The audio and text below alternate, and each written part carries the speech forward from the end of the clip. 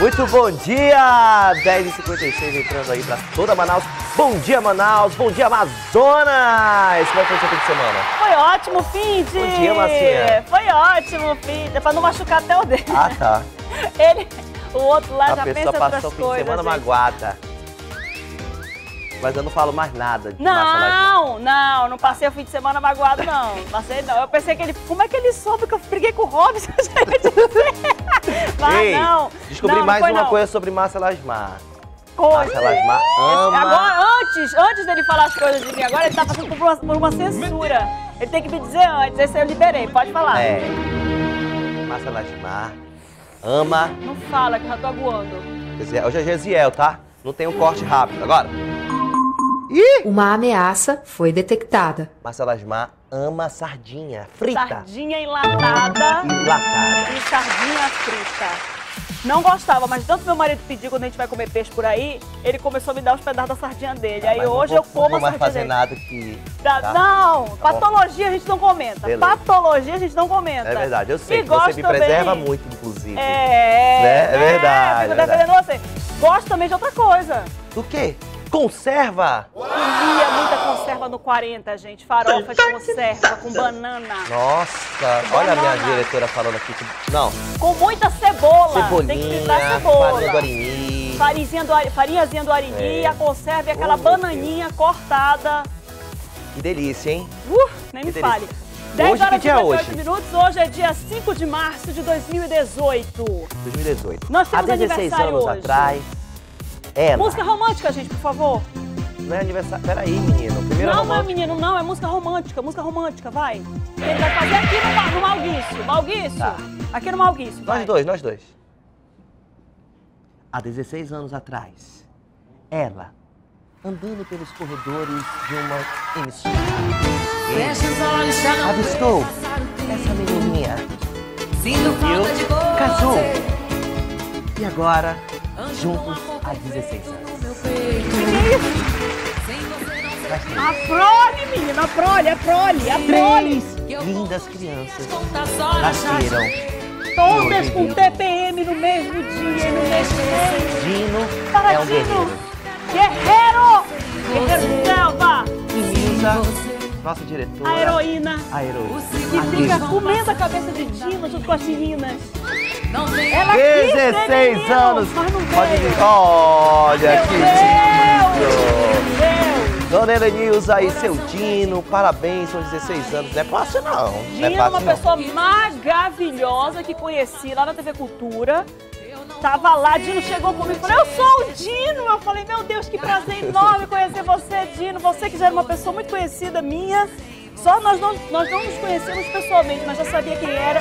Aí a primeira pergunta que fiz, cadê Nívia Salgado, né? Ô, Nívia. É, ela faz parte dessa história. É? É. Ela uniu não o sei casal? como, não. Quis separar, para de. Ixi, Maria. Olha o coração. Olha, meu amor. Lindo. Olha Gesiel. Parabéns, 16. Mostra a Helenilza aí. Mostra a Helenilza, Gesiel. não. Olha aí, ó. Qual é a boda de 16 anos, filha? Qual é? Safira. Boda de Safira. Vai ganhar um anel de Safira, é? Olha aí, ó. Bora, olha pra cá, Nilza. Olha pra cá. Ê! Aê! Parabéns! Parabéns. Muitos anos a mais pra vocês. Que Muitos, muitos possam anos ainda. crescer ainda mais também. Criar três filhas com muita garra e muita força. A gente sabe que o dia a dia não é fácil, né? Dino, desejo E você muita paciência. luz pra porque Lidar vocês. com mulher não é fácil. Lidar com uma mulher não é fácil. Com quatro, então, nossa. Desejo que você é uma pessoa bem descolada, assim, bem tranquila. Ele é Os dois, os dois. Os dois são, os dois Bem são. descolados. É porque o homem tem Sempre que ter no meio da galera. né, Hã? gente? O homem tem que ter uma presença de espírito muito grande pra lidar com mulher em casa. verdade. Porque a mulher tem muito É hormônio e tal, aquelas coisas. 11 horas, 11 um e 1. minutinho. O nosso amigo. Tem bolo hoje. Tem bolo, tem bolo. No tem meu um bolo. predileto. Tem madruguinha. Tava com saudade de você, madruguinha. Vem pra cá com o papai.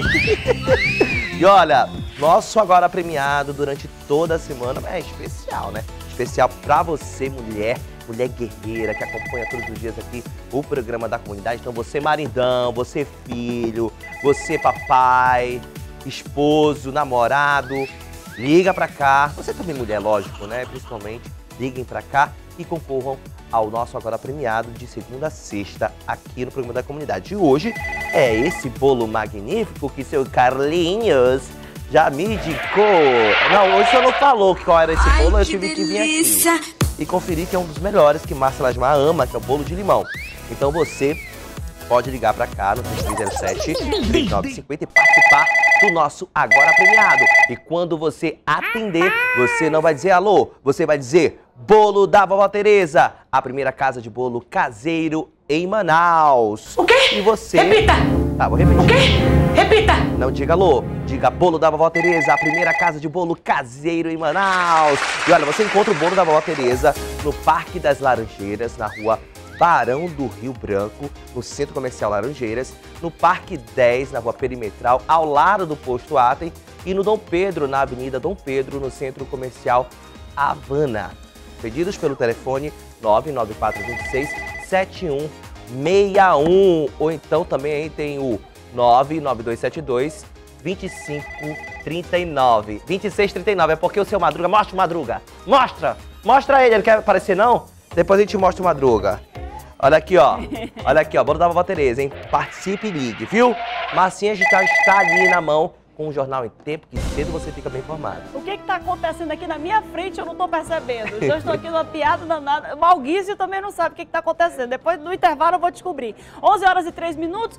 Quer ficar muito bem informado? Você vai ter que comprar o seu jornal em tempo de todos os dias. Está aqui, olha, tudo agora, que traz muitos destaques, inclusive fala de economia. Nesse momento que a gente está vivendo aí as vésperas da Semana Santa, todo mundo comendo peixe, estamos na quaresma, está todo mundo abdicando de carne, né? De uma série de, de coisas boas aí para poder fazer esse sacrifício que antecede ao domingo da, da Páscoa, que é a paixão de Cristo e tudo. E a gente vai trazer para você aí, ó, esse, essa notícia. Semana mais caro, peixe mais caro da Semana Santa. É destaque no nosso Jornal em Tempo. E tem também a situação dos presos de Canutama. Nesse quadradinho laranja que você está vendo aí embaixo, ó, que o Maurício está pegando, que a gente vai trazer de destaque no nosso programa da comunidade. O que foi que aconteceu? Presos de Canutama fizeram uma rebelião no fim de semana. Sete deles acabou fugi, acabaram fugindo, né? Sete deles acabou fugindo. E a gente vai trazer para você aí os destaques, porque eles já foram recapturados. Ainda bem, né? E isso tudo por causa da, uma, de uma alegada superlotação. É destaque no nosso programa de hoje que você confere, dentre outros tantos. Vem para cá, Bruninho, o nosso Jornal em Tempo você também acompanha na plataforma digital www.emtempo.com.br que você fica por dentro de todas as notícias do Amazonas, do Brasil e do mundo. É verdade. Tem Minuto em Tempo hoje. Minuto em Tempo com quem Hoje hoje, lá no- temos na redação? Minuto em Tempo. Daniel Marreco trazendo todas as informações e notícias do nosso portal em tempo, notícias do Brasil e do mundo. Muito bom dia, Bruno, Márcia, e bom dia para você que nos acompanha de casa. Olha atenção, você está procurando ajuda judicial na área civil ou familiar? O ônibus do programa Justiça Itinerante do Tribunal de Justiça do Amazonas vai atender gratuitamente o público a partir desta segunda-feira até o dia 30 de março no estacionamento do Shopping Via Norte, no bairro Monte das Oliveiras. O atendimento acontece de segunda a sexta-feira, das 8 da manhã até as 14 horas. E por volta das 22 horas deste domingo, a Polícia Militar recebeu uma denúncia por rádio que uma criança de um ano foi atingida pelo próprio pai. Segundo informações preliminares, o homem estava bêbado e, depois de tentar alvejar a esposa com arma de fogo, acertou o menor no braço. A criança foi levada para uma unidade hospitalar para os devidos cuidados. E o fim de semana foi agitado no mundo do cinema. O prêmio mais famoso do mundo, o Oscar, ocorreu neste domingo em Hollywood, na Califórnia, nos Estados Unidos. Se você ainda não sabe quem ganhou, por exemplo, a estatueta de ouro de melhor filme, confira a lista completa no nosso portal no emtempo.com.br. Não esquece também de conferir as nossas redes sociais pelo arroba Emtempo Oficial. Essas foram as notícias de hoje e nos vemos amanhã. Volto com vocês no estúdio.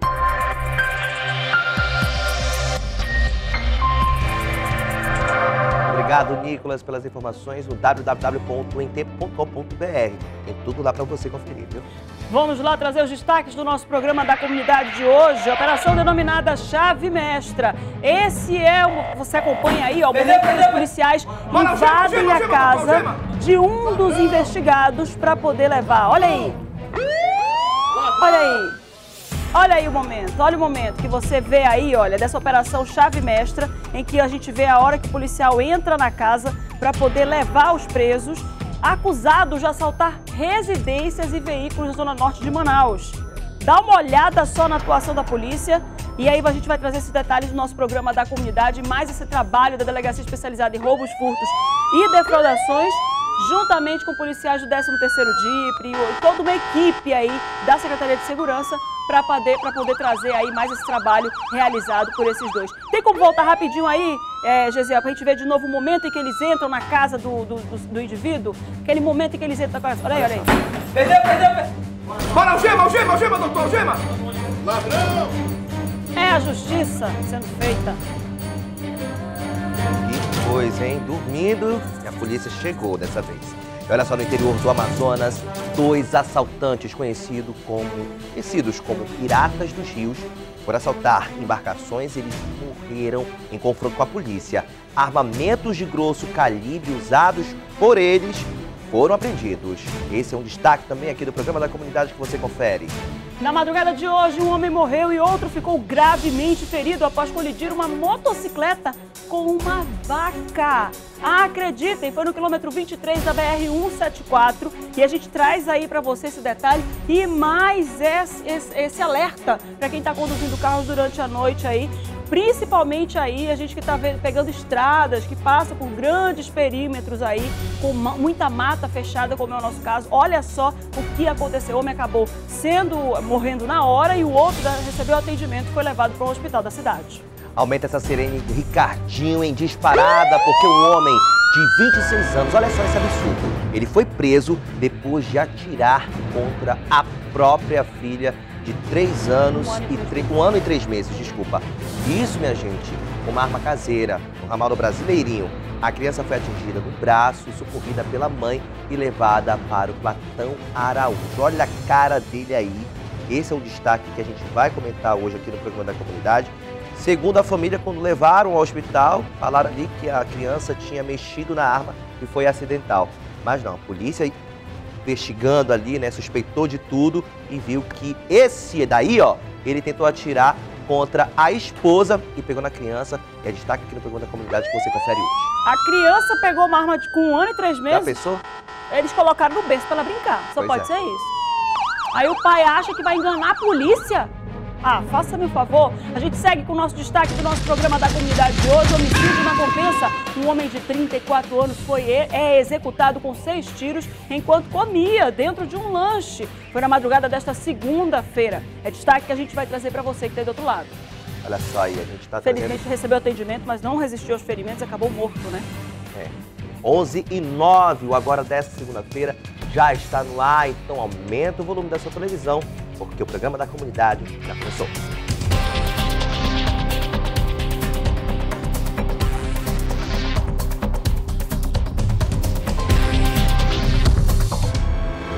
E aqui na capital, dois homens foram presos suspeitos de liderar uma quadrilha especializada em assaltos a residências e veículos na zona norte de Manaus.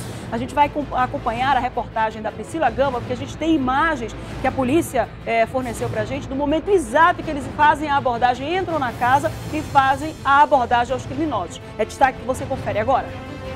Cláudio Coimbra dos Santos e Ednelson Ferreira Passos são apontados como líderes da quadrilha.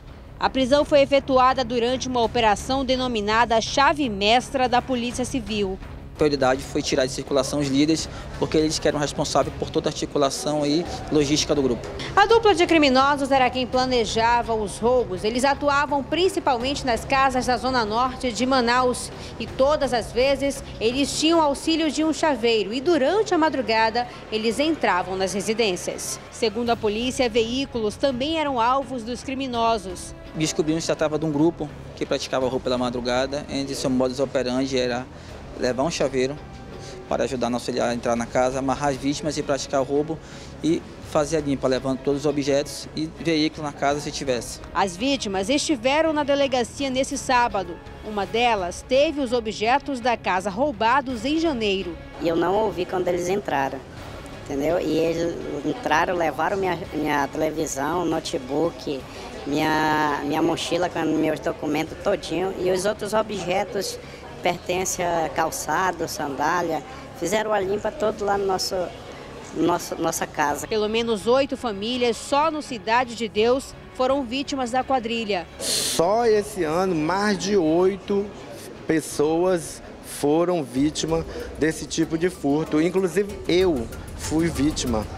Em novembro, o cidadão entrou na sala da minha casa, levou, furtou a televisão de 42 polegadas com a chave mestre, porque ele abriu a minha. Eu troquei todas as fechaduras e botei ferrolho na minha casa. Nove televisores e um teclado foram recuperados. Além das prisões de Cláudio e Ednelson, a polícia investiga outras pessoas suspeitas de participar da quadrilha. Os suspeitos vão responder por associação criminosa. Olha, de acordo com a polícia, a quadrilha já estava em mente aí, né, para assaltar uma outra família. Só que a polícia descobriu e agiu antes disso através de investigação. Sendo que a polícia disse que essa família que eles iam assaltar, Márcia, é, não tinha dinheiro. Não tinha dinheiro. Aí eles iam matar essa família. Foi aí que a polícia conseguiu chegar até ao bonitinho aí, todo barbado, que estava dormindo. Não. E esse outro aí também. né? Imagina o susto. Eu Vou pedir de novo com sobe e som, ficar caladinho aqui para poder a gente ouvir de novo esse momento em que a- os investigadores da delegacia invadem o quarto do homem que está lá dormindo, A né? polícia ainda foi até Mas educada, né? foi. Porque eles chegavam pior na casa É, dos outros. mas né? não Ainda é. matava os cachorrinhos com calmante. Quem? Esse, essa, essa quadrilha aí. Ah, essa quadrilha? É. Ah, agora olha só, gente. É, só para vocês terem uma ideia do que, que é o, o sono não tranquilo, né? Ele tava lá dormindo, aí ele foi assustado, porque quem não é cidadão, quem não é, que quem não se comporta direito da sociedade, leva esse tipo de susto mesmo. Solta aí de novo. Perdeu, perdeu, perdeu. Bora, algema, algema, algema, doutor, algema. Ladrão! E o delegado junto, ó. Ladrão! Olha Você aí, tá ó. ouvindo aí os moradores, da Moradores, né? área que já tinham aí conhecimento de onde é- do que, que eles eram e da- dessa ação da polícia que deve ter avisado os cidadãos ali que ia, que ia entrar. E a gente vê esse trabalho do 13º Distrito Integrado de Polícia, juntamente com a Delegacia de Roubos e Furtos de Veículos. Né? É importante que a gente diga aqui Deve um trabalho conjunto. envolvida aí, e olha né, só quanto, Hein, quanto preso. Tem envolvida, né? com certeza. Eles, eles pegam os dois que são os grandes articuladores da- dos crimes cometidos, né? São os idealizadores, os mentores do- das ações criminosas. E mais uma vez a gente traz aqui uma ressalva: a receptação de furto. Porque se não tivesse alguém para receber e comprar esses televisores achando que está fazendo um bom negócio, eles não teriam para quem vender e não existiria ladrão. Porque só existe o ladrão porque tem quem compra os objetos roubados por ele, porque nem todo ladrão consegue roubar dinheiro. Né? O ladrão rouba objetos, rouba teclado, como você está vendo aí, caixas de som de veículos, a gente está vendo aí que são caixas de som, televisores ali, já L, tela, tela de LCD, né? televisores já digitais, ali, né? viu? Isso. Teclado, Só em janeiro, oito famílias foram assaltadas por essa quadrilha. Oito por essa organização criminosa aí. Isso é uma organização criminosa. E a gente vê aí que prestes, como o Bruno disse, prestes a cometer um outro assalto, a polícia conseguiu intervir, foi lá e prendeu os dois e vai prender o resto. Porque como o Bruno disse, não tem só esses dois não. Esses dois é o início só, só o início de- da prisão de todos os outros envolvidos, que é questão de tempo. E por enquanto, aí, ó, o televisores, barrigudo né? e o barbado foram presos. Eu tenho certeza que a polícia vai chegar logo, logo nos outros envolvidos, né, Marcinha? Com toda certeza. E 11 você, E 15. você que mora na Zona Norte, né, que Sim. teve a casa roubada e que de repente ali, ah, eu não vou denunciar não, porque não vai dar em nada. Tem que denunciar, antes de mais nada. Todos os crimes precisam ser denunciados. Porque a polícia tem que, que fazer uma estatística, tem que levantar um número para poder dividir ali as viaturas, para poder fazer um trabalho de prevenção de criminalidade. E quanto mais processos existirem contra essa quadrilha de furtos e roubos que eles cometeram, roubos no caso que eles invadiam a casa da pessoa, maior vai ser a pena deles. É importante a gente deixar isso aqui muito bem claro. Então, nada de evitar ir para a delegacia achando que não vai dar resultado. Dá resultado e a gente mostra aqui E assim, sempre não tenha pena esse não, trabalho não da tem que ter polícia. pena não, não tem que ter medo não. Lógico que a sua identidade é preservada, porque quando eles entravam na casa das pessoas, como eu disse ainda agora aqui, né, eu lendo ah, as notícias, falando é, com a polícia, eles matavam até os cachorros para não serem percebidos. Ou seja, tem que ter pena não, tem que botar atrás das grades mesmo e denuncie. 11h16, a gente muda de assunto, porque sabe quem vai dar o recado agora, né? É o Valdirzinho. Chama ele então aí, Valdir. Valdir vai trazer recado pra gente do Hipermeno. Fala, Valdir. Estamos de volta para falar do Hipermeno, é fonte de juventude sim, porque quem toma Hipermeno todos os dias dorme bem, acorda bem, se livra das câimbras, a diabetes baixa e a pessoa tem mais qualidade de vida. Veja o que vai falar agora o seu Valdir, o meu xará. Seu Valdir, como é que o senhor chegou na loja do Hipermeno há dois anos atrás? Eu cheguei ali com o seu Valdir, todo carangado, cheio de problema. Era dor nas articulações, nervosismo, era, uma série de problemas, cansaço, o namoro não funcionava. Depois que eu passei a tomar o hipermemo, aí a coisa foi melhorando. Hoje eu não vi o seu hipermemo, rapaz. Tome hipermemo e faça exercício que você vai ter uma longevidade muito grande. Isso é Hipermemo, é resultado garantido. Porque o Hipermemo faz tudo isso pela pessoa. Porque, na verdade, quem combate os problemas é o seu próprio corpo, o seu próprio organismo. Quando você tem boa circulação, o seu próprio corpo combate os problemas. Compre o seu Hipermeno agora na promoção. Dois frascos por 100 reais. Ligue agora e receba em casa. 99430 4646. 99430 4646. A loja fica ali, na Floriano Peixoto, número 215, no centro de Manaus. Eu quero só dar um recado aqui pro pessoal da técnica aqui da nossa TV.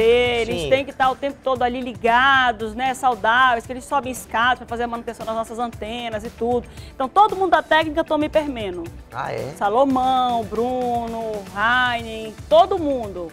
Todo mundo toma hipermeno para ficar com saúde. Quem mais? Seu Salomão, então, o é quem Sérgio, mais o Sérgio toma. toma também? O seu Salomão rouba o hipermeno do Bruno para poder tomar. Ah, E é? o Sérgio também, parece que também rouba do, do, Eita, do que seu Salomão. Hipermeno tá fazendo é uma coisa sucesso assim. ali, né? Olha A só. gente muda de assunto, né? a gente dá uma Vamos amenizada mudar. aqui na notícia para poder mudar de assunto. É verdade, porque nesse fim de semana o Teatro Manauara né, foi palco da encenação da peça A Bela e a Que eu Fera. sou apaixonada, diga-se de lindo, passagem. Né, conhecido no mundo inteiro e as pessoas foram lá conferir. Vamos ver na reportagem de Fred Rocha. A peça conta a história de um príncipe ignorante, mal-humorado, que por isso recebe o encanto de uma bruxa, ou um castigo, e se transforma em uma fera. Para voltar a ter a aparência de antes, precisa se apaixonar. Bela é a única pessoa capaz de seduzi-lo com sua beleza. Então, essa é a mensagem que a gente traz para o público, para as crianças, né? Que você precisa ser gentil com todo mundo, que você precisa ser humano e amar as pessoas. Quem faz o príncipe Adam é o ator Rafael. E para os dias de hoje, eu acho que é uma mensagem muito bonita que fala sobre amor verdadeiro, né? Que vai quebrar todo o encanto. E a partir do momento que aquela bruxa, aquela mendiga joga o encanto no príncipe, ele tinha um coração duro, né? Não sabia enxergar por trás do- das aparências. Evelyn é a atriz responsável por dar vida à Bela. Que é melhor ainda é você poder fazer uma outra Bela, não a Bela da Disney que todo mundo conhece. É colocar um pouquinho de você, essa, essa- esse lado aventureiro, esse lado apaixonada, de querer conhecer mais o mundo. E eu fico muito feliz, eu agradeço muito de estar aqui é, mostrando para essas crianças um pouquinho do teatro, um pouquinho da paixão que a gente tem de cantar, dançar e atuar ao mesmo tempo. A história é uma adaptação da literatura, mais precisamente da obra de Madame Le Prince de Belmont, e envolve sentimentos de amor, rejeição, medo e alegria. Que legal, né? Você gosta? Adoro. Sabe por que que eu gosto muito desse desenho? Primeiro que eu gosto de desenho. Eu não sou infantilizada não, tá, minha gente? Mas porque os desenhos, como eles são educativos, eles precisam passar sempre uma mensagem, eles sempre passam uma mensagem muito positiva para as crianças. Então, qual é a mensagem do desenho A Bela e a Fera? É você amar a pessoa pelo que ela é por dentro e não pelo que ela é por fora. Porque a gente vê um príncipe feio, monstrualizado, né? Ele foi, ele foi, ele foi transformado num monstro por causa da, da maldição que ele recebeu, porque tratava todo mundo mal. E a Bela consegue enxergá-lo além da aparência e consegue entrar no coração dele e vê-lo por meio do coração. E é, é, é por isso que eu gosto da- do desenho da Bela e a Fera. Eu gosto de Mulan, Aladdin, de tudo isso, tá? Assisto tudo. Assisto Princesa Sofia, né? Que roda aqui no nosso, na nossa programação. Adoro. 11 horas e Ei, 21 e, minutos. não, e detalhe, a gente teve participante aí, né, do, do A Bela e a Fera, que participaram do nosso Art Music aqui, bem bacana, muito legal. 11 e 21, parabéns aí ao espetáculo e a todos os atores que participaram dessa peça. Daqui a pouco você confere o interior do Amazonas. Dois assaltantes conhecido, conhecidos como Piratas do Rio foram mortos em tiroteio com a. É, daqui a pouco a gente vai trazer, porque da embarcação que eles estavam também foram apreendidos aí armamentos de grosso calibre. É já já, não sai daí não.